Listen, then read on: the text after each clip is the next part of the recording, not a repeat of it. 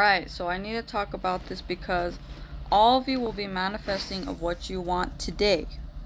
Okay, it doesn't matter what it is, what it takes, you will manifest this by today.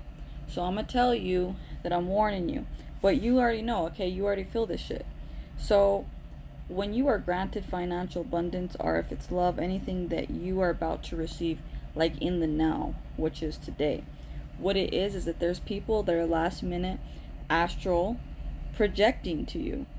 Yeah, so what does that mean? I mean, that could be interpreted, okay, are they visiting me, astral spy me? No.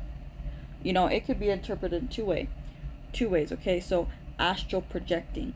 So what they're doing is they're sending you their self-hatred to you because they don't want you to manifest whatever it is that's about to come to you. They don't want you to. These are people that are lower energies, people that are in your life that are toxic, you know, people that need a lot of healing.